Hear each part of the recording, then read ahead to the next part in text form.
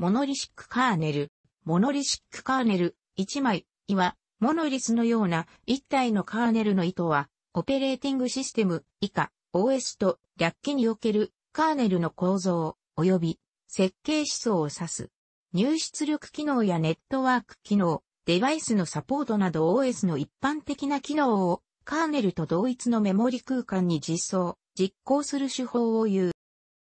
代表的なモノリシックカーネル OS としては、古典的な Unix とその派生 OS が挙げられる。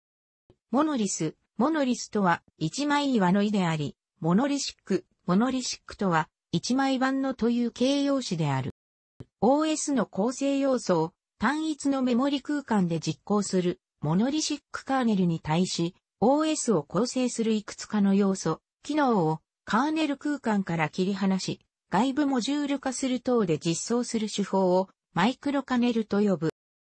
モノリシックカーネルの設計思想及び概念それ自体は旧来より存在するが、モノリシックカーネルというタームの成立は、このマイクロカーネルという概念、実装の登場による対概念として要され、命名されたことによる。モノリシックカーネル方式は、より近代的な設計手法とされるマイクロカーネル方式の OS に比べ、OS の機能のほとんどすべてが単一のメモリ空間で行われるゆえ、同一の処理を行う際に費やされるコンテキストスイッチやプロセス間通信等によるオーバーヘッドは相対的に少ないものとなり、実行パフォーマンスにおいて有利であるといった見解がある。実際にプロセッサの動作ロックが数メガヘルツ、数十メガヘルツ程度に止まっていた時代には、乱発されるコンテキストスイッチ等の実行コストの問題は深刻なものであった。1980年代にデビューした商用ユニックスは、そのほとんどがモノリシックカーネル方式を採用している。しかし、プロセッサの処理速度は20世紀末から21世紀初頭にかけて超速の進歩を遂げた。また、マイクロカーネル側の実装における高速化技法の進展、必要に応じて一部パフォーマンスを要求されるサブシステムのみ、カーネル空間に取り込む実装も登場し、モノリシックカーネルのパフォーマンスにおける原理上の優位性は小さくなった。しかし、同等の機能を実装した場合に、その原理上実行時のコンピュータのメモリ上の OS カーネルのフットプリントを比較的小さなものに留めておきやすいこと、ノンプリエンプティブ、制約を付加すれば、サービス実装を行うときに考慮するべきことが減り、開発が楽になること等が利点として挙げられる。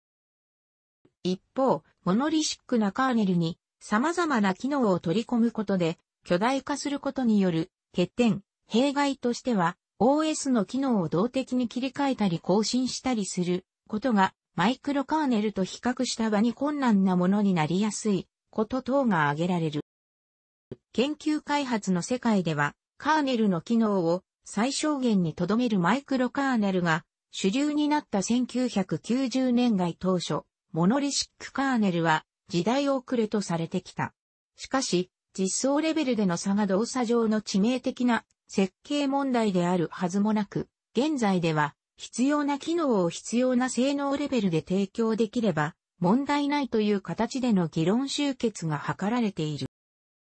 ソラリス、HP、UX、X や日本の国産ユニックスの系統もすべてモノリシックカーネルを基礎とするカーネルを使用している。また、X86KPC でのユニックス互換機能提供を目指して作られた Linux では、基本的にノリシックカーネルを採用しているが、実行時に読み込むカーネルモジュールを設けると、実行時の柔軟性を高めている。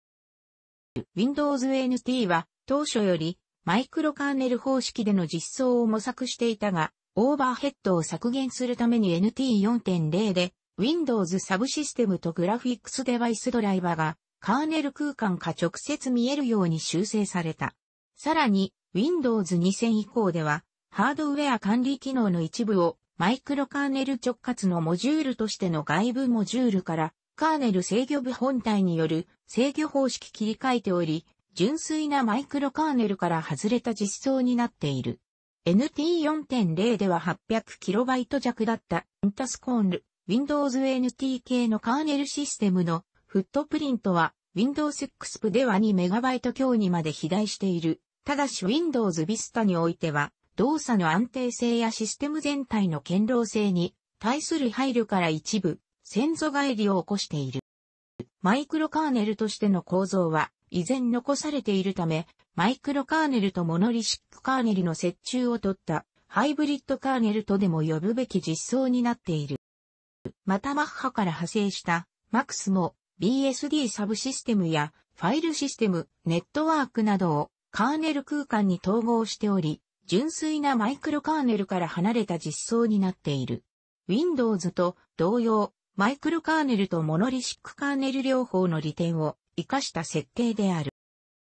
モノリシックカーネルとマイクロカーネルについては、Linux の作者リーナス・トーバルズとミニックス、ミニックスの作者アンドリュー・タネンバウムの1992年の論争が有名である。楽しくご覧になりましたら、購読と良いです。クリックしてください。